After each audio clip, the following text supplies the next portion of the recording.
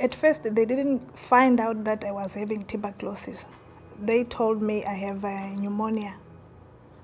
First, they told me that I have a viral respi uh, respiratory from, from the flu.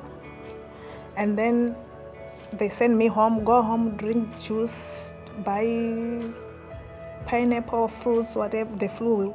Then when I go home, that is when I get sick.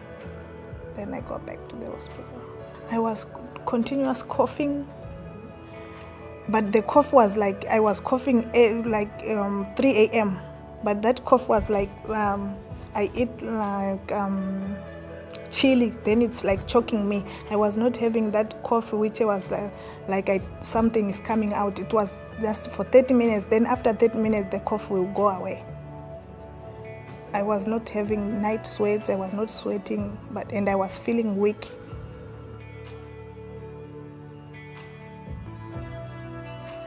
When I was in hospital, that is when I get worse. I was so skinny, I couldn't walk, I was not eating, and by that time, I was, if I drink anything, even water, I was throwing up.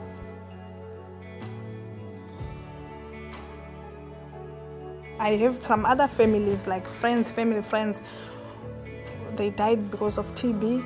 So I was always, the way I see them get sick, I was like, God, please don't give me this. I don't like to be sick with TB.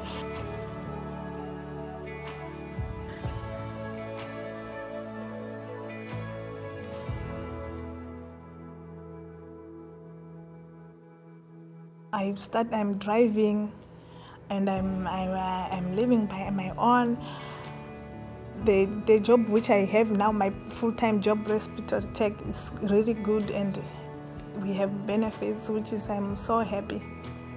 Mm -hmm. So it really changes a lot. So I, on the other side, I think that I've been sick. So the way I was sick, that's why I want to be close every time to be with patients. I like it because I always like engage with the patients. Some, I can tell them, they will be like, oh, I'm dying. I said, you know what? You are not going to die. I explained my story to them. They feel very, they said, okay, thank you.